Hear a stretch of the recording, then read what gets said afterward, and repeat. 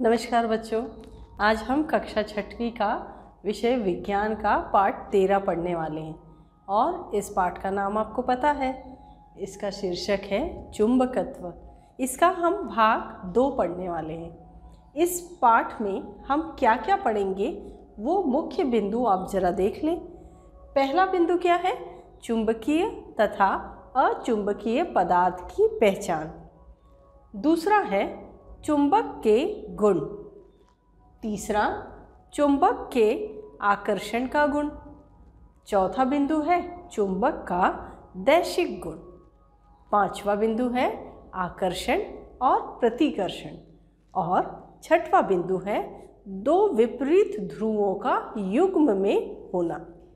बच्चों, हमने भाग ए में बहुत सी बातें की थी। जिसमें हमने चुंबक की खोज कैसे हुई, ये जाना था। चुंबक क्या है, ये जाना था। अब हम जब जान चुके हैं ये सारी बातें तो आज हम जिन गुणों की बात करने वाले हैं, उसके लिए हमें कुछ क्रियाकलाप करके देखने हैं और इन क्रियाकलाप को करने में आपको बहुत मज़ा आएगा। तो चलिए हम शुरू करते हैं क्रियाकलाप एक से। इसके लिए आपको क्या क्या चाहिए, देखिए तो। आवश्यक सामग्री है आपके आसपास से, जो स्ट्रॉ है ब्लेड है, लकड़ी है रबर प्लास्टिक कुछ कांच के टुकड़े हो सकते हैं, कुछ इसमें धातु हो सकते हैं, कुछ मिश्र धातु जैसे पीतल है कोबाल्ट है निकेल है, लोहा है स्टील है, इससे बनी हुई वस्तुएँ आप ले सकते हैं।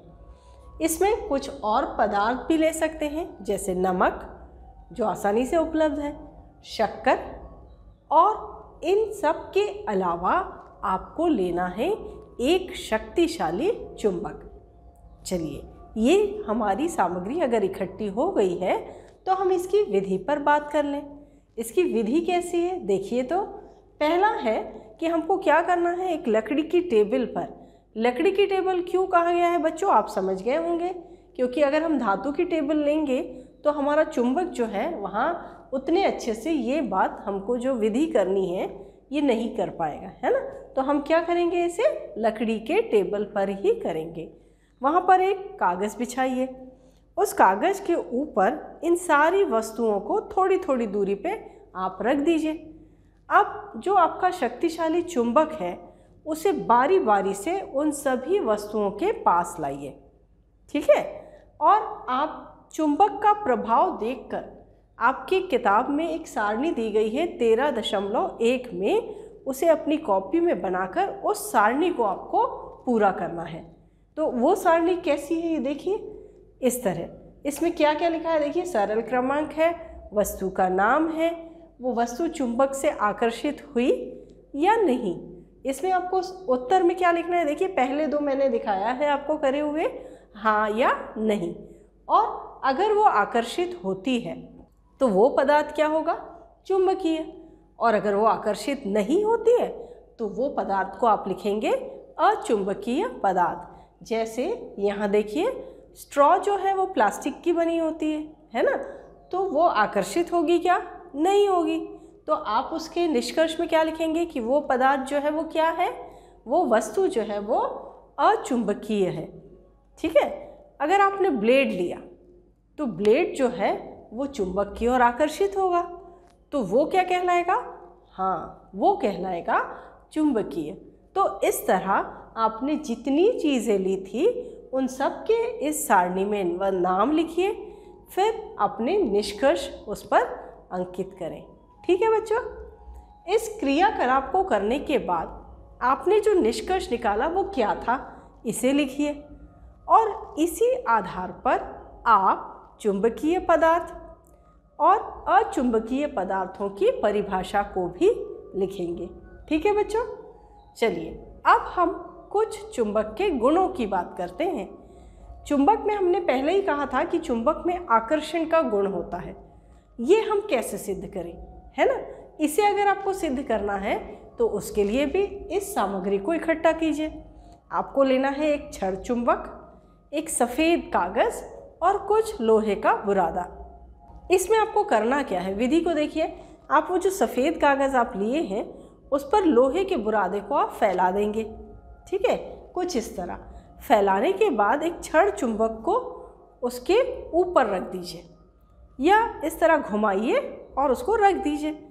आपने क्या देखा? बिल्कुल इस तरह देखा होगा आपने। देखिए, इस चित्र में एक छड़ चुंबक दिखाया है, जो लोहे का पूरा बुरादा था। वो कहाँ जाके चिपक गया है देखिए तो। वो आपको दिख रहा है उसके दोनों ध्रुवों पर। दिख रहा है बच्चों? आप खुद करके देखिए। इसे, ठीक है? अब हमने देखा कि जो दोनों सिरे थे, उस पर लोहे का बुरादा सबसे अधिक मात्रा में चिपकता है।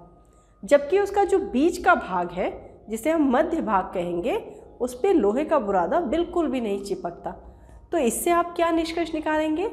इससे आप ये निष्कर्ष निकालेंगे कि चुंबक जो है, उसके सिरों पर आकर्षण बल सबसे अधिक होता है और इसे हम कहते हैं चुंबक के ध्रुव, जिसकी हमने पहले वाली कक्षा में बात की थी।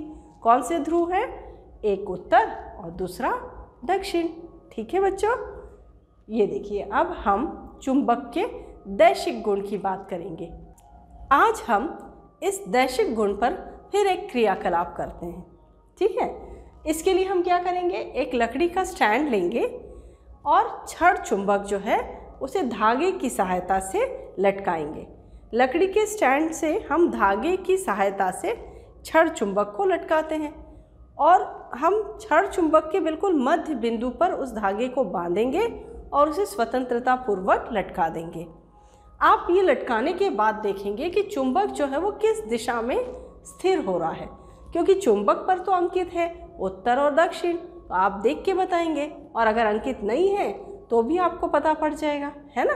अब हम इसे हाथ से पकड़कर ज़ोर से घुमा देंगे और उसको छोड़ देंगे। घुमाने के बाद आप फिर देखेंगे कि ये किस दिशा में जाकर रुका है। ठीक, कुछ इस तरह आपको चुंबक को लकड़ी के स्टैंड से बांधना है। दिख रहा है आपको? ये आपके चित्र जो है, पुस्तक में भी हैं। इससे आप निष्कर्ष क्या निकालेंगे? कि जब हम स्वतंत्रता पूर्वक लटकाते हैं तो चुंबक जो है, वो हमेशा उत्तर दक्षिण दिशा में स्थिर होता है। दूसरी बार जब हमने उसे घुमाया और छोड़ दिया तो फिर देखा हमने तो फिर से उत्तर दक्षिण दिशा में स्थिर हो गया। तो इससे निष्कर्ष ये निकलता है कि चुंबक में जो है, वो दैशिक गुण जो है, वो पाया जाता है। ठीक है? अब इसमें हम देखेंगे कि आकर्षण और प्रतिकर्षण क्या है। आकर्षण और प्रतिकर्षण के लिए भी हम एक क्रियाकलाप करेंगे। आज आप बहुत सारे क्रियाकलाप कर रहे हैं। और इन क्रियाकलाप को करने में आपको बहुत मज़ा आ रहा होगा। वो इसलिए बच्चों, क्योंकि आप जो पुस्तक में पढ़ते हैं, खासकर विज्ञान में, आप जितनी भी बातें पढ़ते हैं, वे सारी आप सिद्ध कर सकते हैं, है ना? तो कुछ जो हैं, हम इस तरह सिद्ध कर रहे हैं, जैसे हमको ये आसानी से उपलब्ध है। कुछ चीज़ें हमें नहीं मिलती तो हम उन्हें सिद्ध करने में थोड़ा कठिनाई होगी, पर जिसे हम कर सकते हैं, उस क्रियाकलाप को हम ज़रूर करके देखें। ठीक है? अब हम पढ़ेंगे आकर्षण और प्रतिकर्षण क्या है। इसके लिए आवश्यक सामग्री नोट करिए। इसमें आपको लेना है लकड़ी का स्टैंड, चुंबकीय सुई और छड़ चुंबक, ठीक? विधि पढ़िए। चुंबकीय सुइयों को स्थिर करना है। सबसे पहले उसे रख के हमें स्थिर करना है। उसकी उत्तरी और दक्षिणी ध्रुवों को पहचान कर हमें चिन्हित कर देना है।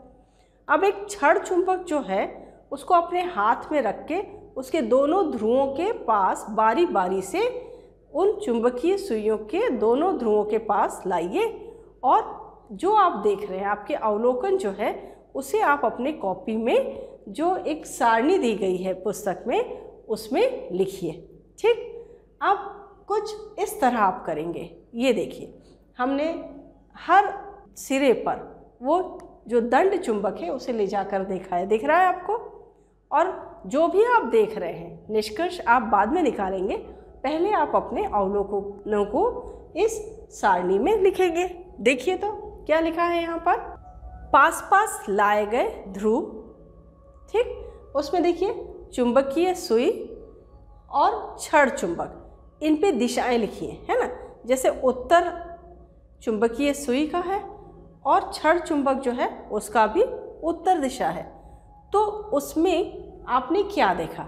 क्या वो आकर्षित हुई? या वो एक दूसरे से दूर हुई पास पास आई, या दूर गई? तो जो भी हो रहा है, उसे आप इसमें नोट करेंगे। मैंने पहला वाला करके दिखाया है। देखिए, उसमें क्या हो रहा है? प्रतिकर्षण। ठीक है? दूसरा वाला देखिए। दूसरे वाले में हमने लिखा है दक्षिण, चुंबकीय सुई की दिशा है, और छड़ चुंबक की दिशा है उत्तर। अब इसमें क्या होगा? ये आपको नोट करना है। तो आप जब ये प्रयोग को करें तो आप खुद करके देखें और अपने सारे अवलोकन इस सारणी में नोट करते चलें। जब आपका ये पूरा प्रयोग हो जाए, तब आप किसी निष्कर्ष पे पहुंचोगे, है ना? तो वो निष्कर्ष क्या होगा? चलिए उसे हम देखते हैं आगे। उपरोक्त अवलोकन के आधार पर हमने क्या निष्कर्ष निकाला बच्चों? कि जो समान ध्रुव थे, समान से यहाँ क्या मतलब है? उत्तर उत्तर और दक्षिण दक्षिण है ना? तो इनमें क्या होता है? इनमें प्रतिकर्षण होता है। और असमान ध्रुव जो है, असमान ध्रुव से यहाँ क्या मतलब है? एक तरफ़ अगर उत्तर है तो जैसे सुई में उत्तर है और दंड चुंबक जो है उसमें दक्षिण है तो दोनों विपरीत हो गए, है ना? तो ऐसे असमान ध्रुव जो है, उनमें आकर्षण होता है। ठीक है? तो आप इसमें प्रतिकर्षण और आकर्षण के बारे में जानेंगे। अब हम ये कैसे जानें कि एक लोहे की छड़ और एक चुंबक है और उस पर कुछ लिखा नहीं है तो चुंबक में और लोहे की छड़ में क्या फ़र्क है? आप कैसे पहचान करेंगे? उसके लिए भी एक क्रियाकलाप है। चलिए, उसे भी हम देखते हैं। इसके लिए आवश्यक सामग्री क्या है? आपको यहाँ पर दो चुंबक लेने हैं और एक लोहे की छड़ लेनी है। अब एक चुंबक और एक लोहे की छड़ की पहचान अगर आपको करनी है तो आप क्या करेंगे कि किसी दूसरे चुंबक से या दूसरे चुंबक के एक सिरे से बारी बारी चुंबक और लोहे की छड़ दोनों के सिरों के आप उसे पास लाइए। यदि चुंबक की जो छड़ है, वो दोनों सिरों को आकर्षित करती है तो वो लोहे की छड़ है, परंतु एक सिरे को वो आकर्षित करती है और दूसरे सिरे को वो प्रतिकर्षित करती है तो वो क्या है? तो वो है चुंबक। कहने का मतलब क्या होगा? कि आकर्षण नहीं, बल्कि प्रतिकर्षण ही चुंबक की सही पहचान है। तो बच्चों, ये जो क्रियाकलाप है, इसे आप ज़रूर करके देखें। तभी आपकी ये अवधारणा कि प्रतिकर्षण और आकर्षण क्या है, बहुत अच्छे से बनेगी। ठीक है? अब हम देखें कि जो दो ध्रुव हैं, दोनों विपरीत हैं, एक उत्तर है, दूसरा दक्षिण है तो इनका युग्म में होना कैसे हम सिद्ध कर सकते हैं? चलिए, हम यहाँ पर देखिए क्या लिखा है मैंने। यहाँ लिखा है कि हम कभी भी किसी वस्तु को, किसी चुंबक को, वस्तु को नहीं, किसी चुंबक को, अगर जैसे दंड चुंबक है, वो बीच से टूट गया या काट दिया हमने तो उसके हमने क्या करा? इधर आ गया उत्तर, इधर आ गया दक्षिण। तो आपको क्या लगेगा कि ये तो टूट गया, ये तो चुंबक नहीं है, पर ऐसा नहीं होता बच्चों। अगर काट कर हम दो टुकड़े करते हैं और यदि किसी छड़ चुंबक को हम काट रहे हैं, दो भागों में बांट रहे हैं तो जो दो टुकड़े हमको प्राप्त होते हैं, उनमें से प्रत्येक में आप देखेंगे, अगर दो टुकड़े कटे हैं तो इधर उत्तर है तो यहाँ वाला दक्षिण की तरह काम करेगा। इस टुकड़े में उत्तर और दक्षिण। कहने का मतलब आप जितने छोटे टुकड़े करेंगे, हर टुकड़ा एक चुंबक होगा, जिसमें आपको दो ध्रुव हमेशा युग्म में उत्तर और दक्षिण, इस युग में हमेशा प्राप्त होंगे। तो ये बहुत मज़ेदार बात है है ना बच्चों? ये देखिए, मैं इस तरह दिखा रही हूँ आपको। पहले एक बड़ा चुंबक, जिसे हमने बीच से तोड़ दिया या काट दिया। देखिए, दो ध्रुव फिर से बन गए उसके, उत्तर दक्षिण उत्तर दक्षिण। फिर हमने इन दो को तोड़ा। एक से दो और दो से हमने चार टुकड़े किए। देखिए चारों टुकड़ों में फिर से आपको दो दिशाएँ उत्तर दक्षिण उत्तर दक्षिण दिख रही हैं। मतलब कहने का कि ये हमेशा जो दो ध्रुव हैं ये युग में, में ही रहते हैं। तो आज आपने बहुत सारी बातें सीखी। क्या क्या सीखा देख लें हम? हमने सीखा चुंबकीय और अचुंबकीय पदार्थ। या वस्तुएँ कौन सी हैं है ना? हमने चुंबक के ध्रुवों की बात की। उत्तर और दक्षिण। हमने चुंबक के बहुत सारे गुणों की बात की, जिसमें हमने उसका दैशिक गुण देखा, हमने आकर्षण और प्रतिकर्षण क्या है, ये भी जाना, और हमने एक बहुत मज़ेदार बात जानी कि दो विपरीत ध्रुव जो है, वो हमेशा युग्म में ही पाए जाते हैं, है ना? तो इन सारी बातों को सीखने के बाद अब आप कुछ प्रश्नों का उत्तर दे पाएँगे। दे पाएँगे ना बच्चों? चलिए इन्हें नोट करिए और कॉपी में लिखिए। पहला प्रश्न पढ़िए, क्या लिखा है? चुंबक के दैशिक गुण से आप क्या समझते हैं? दूसरा प्रश्न है, आकर्षण और प्रतिकर्षण क्या है? तीसरा प्रश्न है, चुंबक का आकर्षण केंद्र कहाँ स्थित होता है? आपको मैंने बताया, है ना? तो इन प्रश्नों के उत्तर ढूंढकर आप अपनी कॉपी में लिखिए। अभी ये पार्ट ख़त्म नहीं हुआ है है ना? तो हम भाग तीन लेकर फिर से आपके सामने उपस्थित होंगे। तब तक के लिए नमस्कार।